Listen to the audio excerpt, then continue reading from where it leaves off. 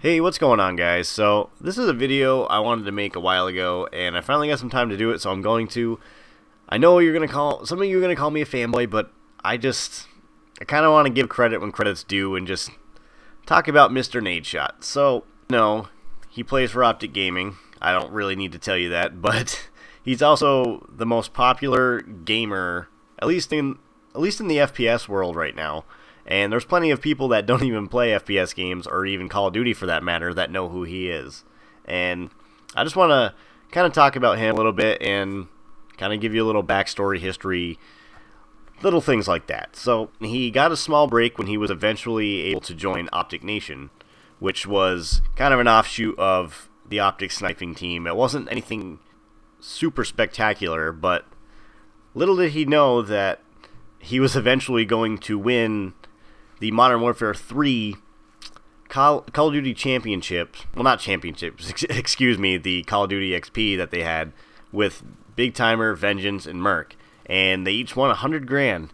And before that, he was struggling. He was struggling a lot with money and everything because he wanted this YouTube thing to work. And he really did sacrifice a lot to make it work. And I think a lot of people really don't understand that and really realize that when they look at Nadeshot. They kind of just think he's this kid that got lucky and just fell into this position, and that's not the case at all. He struggled for a long time. If you watch a couple of his videos, he talks about how he struggled, and he also talks about it in this, and that is the Chicago Tribune interview he had. And I'm going to pop up a clip right now, that way you guys can watch it and I'll get right back into the commentary. There's actually kind of a misconception that all gamers are kind of degenerates that don't really have motivation in in the in the workspace and in school. But uh, when I was a sophomore, I got a worker's permit and I worked part time at McDonald's. I worked pretty hard in high school and in going into college. Now, the thing about him is that it's pretty crazy to see how far he came and the reason he ended up blowing up the way he did was because he eventually got his chance and joined Optic Gaming after Rambo had been released.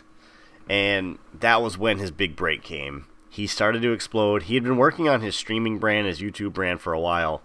But when he joined Optic Gaming and started streaming 8 hours a day, 8 to 10 hours a day, Black Ops 2, he eventually just exploded. And he's been doing that ever since.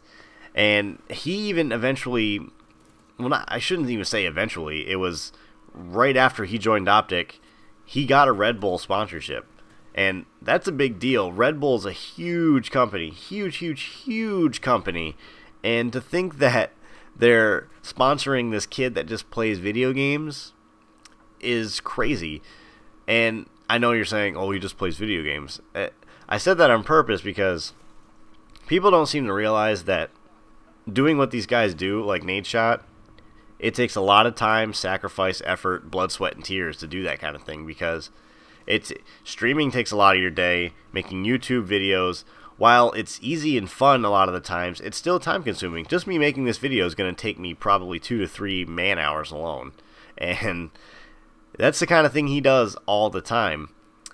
And it's pretty crazy because with all the effort he has put in and all the time he's put in, he's able to make six figures. He talks about that in the interview he had with the Chicago Tribune. And it's just crazy. I mean, it really did confirm it that he does make six figures a year, but he's doing something he loves, but he's also working his ass off to maintain it and do it.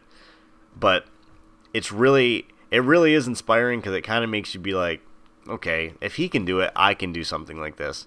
And that's part of the reason why I like YouTube because I'm really, I really do feel like one day I will find something that will help catapult me because I would love to do this for a living. And I, I mean, that's why I spend a lot of time on my computer. That's why I spend a lot of time on the internet. That's why I spend a lot of time on YouTube because I watch people, I, you know, I watch people. I try to figure out what they're doing right and and that's how you become successful. You try to not you don't try to emulate or imitate people, but you kind of learn from them and you try to you try to instill little bits and pieces of other people in yourself while staying true to who you are at the same time. And I'm really hoping one day it really does work out for me because I I honestly, I could not think of anything else I'd want to do, at least for the next few years, than this. And it would be amazing. But enough about me. Uh, so back to Nadeshot. He has also hit over 1 million subscribers, which, if you think about for a Call of Duty gamer, that's that's insane. And the next the next player to do that will probably be Scumpy, you know, maybe a year down the road. But yeah, at this point, you got to just ask yourself what next? What is next for Optic Nadeshot? I mean, does he keep playing? Does he keep playing? Does he keep playing? Or does he just start focusing on his brand and just worry about that? Like his YouTube, his Twitter, stop competing.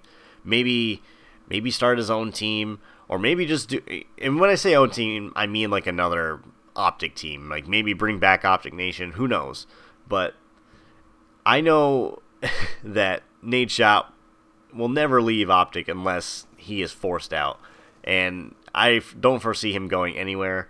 And if he does quit competing at some point, you know damn well he's going to do something within the Optic Gaming organization under Hex or maybe take over for him. Who knows? Eh, you never know what could happen down the road. But yeah, I mean, congratulations to him. And I can only hope that someday something like that happens to me. I mean, the chances of it are pretty small, but if you work hard enough at something, nine times out of ten, you might get rewarded for it.